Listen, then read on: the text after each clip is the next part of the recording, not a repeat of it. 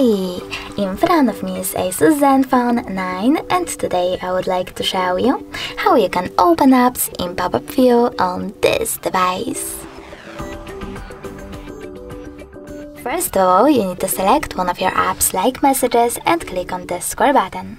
Now click on the icon of your app and choose Open as window. As you can see now, I can use it in this little window over here. If you wish to move it around, hold this blue line and drag it. If you wish to turn it into a bubble, you can click on this little icon here or choose home button. In order to go back to it, just tap on it. You can make it full size by clicking on the top left corner.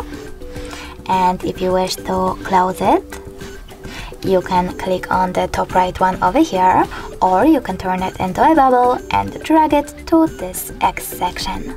Then let's go! Thanks so much for watching. If you enjoyed this video, don't forget to leave a like, comment and definitely subscribe. Bye!